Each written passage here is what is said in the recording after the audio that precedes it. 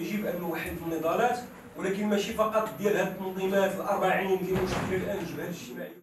ومجموعه من المقتضيات القانونية ومجموعة من الإجراءات ومجموعه من القرارات اللي دارتها الحكومة واللي آخرها هو قانون الماليه ديال 2020 ديال المكتسبات الاجتماعية المتسارع والمستمر في جميع المجالات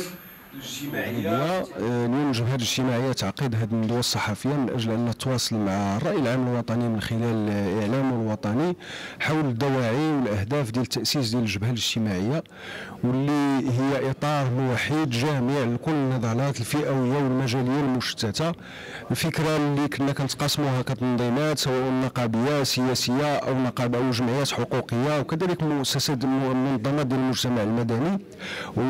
وتم تجسيدها من خلال ميثاق تاسيسي اللي كيحدد الحد الأدنى المشترك في المجال ديال الحقوق والحريات وفي المجال الاجتماعي. فالجبهات الاجتماعية تم تنزيل الفكرة على المستوى المحلي وصلنا اليوم أكثر من 45 لجنة محلية وهو تأكيد على الإرادة ديال المناضلين وعلى الرغبه ديالهم وعلى الحاجة ديالهم كذلك لمثل هذه المبادرات النضاليه وهذه اللجان المحلية ستخرج يوم 20 فبراير في وقفات احتجاجية على المستوى الوطني في توقيت واحد لإحياء الذكرى ديال 20 فبراير ولكن أساسا باعتبار بأن مطالب ديال حركه 20 فبراير ما زالت انيه ولنقول كذلك بأن منذ 2011 إلى الآن في المغرب لم يتقدم لم يتغير شيء وبأن بالعكس الوضع ديال المغاربة يزداد سوءا يوما عن يوم وبأن الهجمة بخلفيه نيوليبراليه على مكتسباتهم الاجتماعية والحقوقية ما زالت مستمرة وهذه إرادة ما زال كاينة عند الدولة وما زال الراسمال الريعي والاحتكاري